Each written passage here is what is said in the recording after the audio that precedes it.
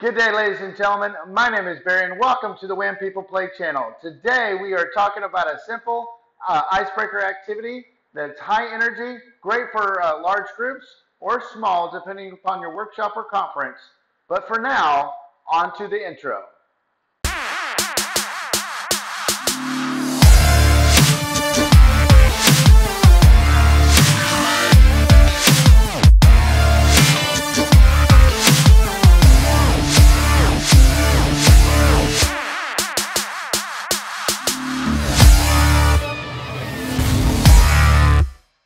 Welcome, my friends, from behind the screen to today's activity.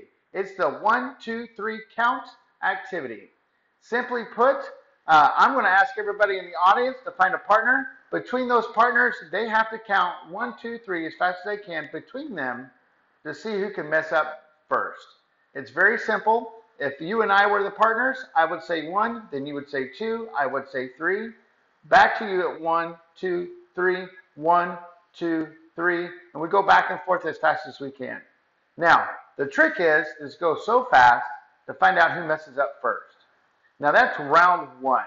The idea is that it's just to create laughter, to be silly. Yes, I messed up, to laugh at mistakes. And basically, as a facilitator, somebody is doing training. If I want to teach about what it's like to build a skill, I want to teach a new skill, you start with the basics. And this is a great activity to do that with. For example, because even though we're going one, two, three, back and forth, the second round, I'm going to say, instead of saying one, two, three, we're going to say one, clap, three. We are replacing a number with a physical activity. Could be a clap, could be a jump, could be mm, sticking at your tongue, whatever the case may be. But we're going to build it up as we go. So with each new round, we're taking away a number, add a physical activity, and then we see if, how well we do. Now, in that case, we're going to get to the, at some point, we're basically going to do like a jump, clap, and hmm. so work together, build the skill, build the activity. Now, what you also can do is that with each new round, each new edition, you have people switch partners, get to know each other a little bit. Also learn behaviors. You know, what is it like for them to mess up? So ask some good questions. What did you notice when you're out there? Instead of an action, you know, we're going one, two, three, we're adding a secondary movement, getting our brains to work with something else. A friend of mine introduced me to switch tasking, I believe it's called. So if you Google it, I think it's called switch tasking. It's not multi, you know, you know, my wife gets on to me saying I can't multitask. Well, scientists will actually say you don't multitask. Your brain switches back and forth between tasks.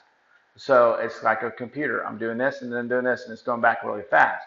Same thing. When you add an object, you're building a skill. What is it like to add something new? For example, if I have a cup, I'm going to say one, turn the cup over. You say two, turn the cup back over.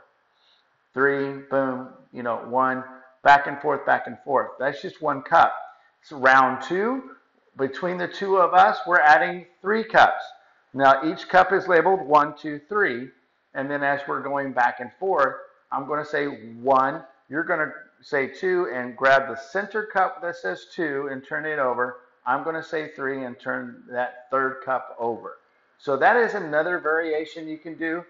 When you start including props, be sure to understand that the bigger the crowd that you have, the more time that you need to include, and also be thinking about the, the cost effectiveness of getting props available. So if you have 100 people, you times 50 times three if you're going to do the three cup activities, and that's how many cups you need per you know per group uh, per partnership.